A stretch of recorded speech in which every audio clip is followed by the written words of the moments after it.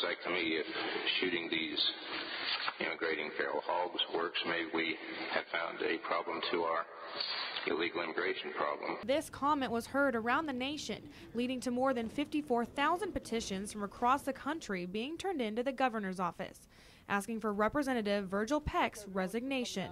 Shooting undocumented immigrants from a helicopter like pigs is not a solution to the problem of immigration. In fact, it is part of the problem. Several organizations met on the Capitol steps to turn in the thousands of signatures, and they say politicians should use this as a lesson. We call ahead of time. We told them that we were coming. There is 54,000 petitions here. It's not like a small thing.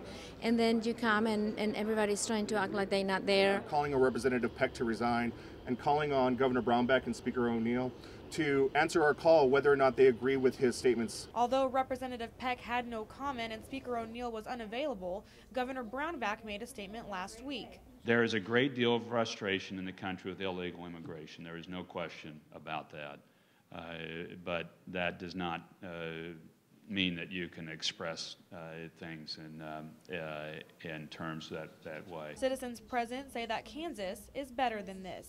Jennifer Van Berklio, KTKA 49 ABC News. Palacios from Central Community Action. I'm representing two.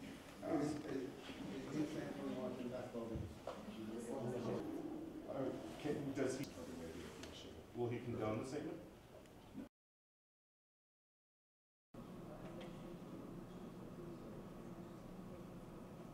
naturalized citizen and a registered voter. From the minute I arrived, I used for our immigrants in our community. I did this. Now let me introduce Joaquin